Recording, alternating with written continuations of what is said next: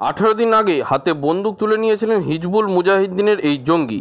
জানুয়ারির ন তারিখ থেকে নিখোঁজ ছিলেন শহীদ খর যার বয়স তিরিশ ছুঁই ছুঁই। শহীদ কুলগামের রেদওয়ানির বাসিন্দা। সেনা জঙ্গির লড়াইয়ে শুরুর আগেই পুলিশের গাড়িতে গুলি চালায় জঙ্গি বাহিনী। এরপরই প্রত্যাঘাতে মৃত্যু হয়েছে হিজবুল মুজাহিদ্দিনের এই জঙ্গির। অপারেশন চালাতে গিয়ে একজন সেনা অনন্তনাগের আরোয়ানি জেলায় জঙ্গিদের ছোড়া গুলিতে গুরুতরভাবে আহত হয়েছেন। সঙ্গে সঙ্গেই পুলিশ গোটা এলাকা ঘিরে নেয় এবং শুরু হয় তল্লাশি অভিযান। তল্লাশি অভিযান শুরু করার পরে সেনার তরফে শহীদকে আত্মসমর্পণ করার কথা বলা হলেও সে গুরুত্ব দেননি।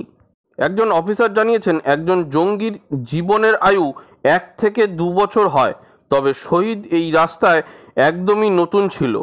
আমরা ওকে একটা সুযোগও দিয়েছিলাম। দুর্গাবশত সে নাকচ করে দেয়, উপরন্তু সে সেনা জওয়ানদেরকে লক্ষ্য করে গুলি চালায়। নিরাপত্তা সূত্রের খবর, শহীদদের দেহ ত্যারিক মাসুদের বাড়ির সামনে পাওয়া যায়।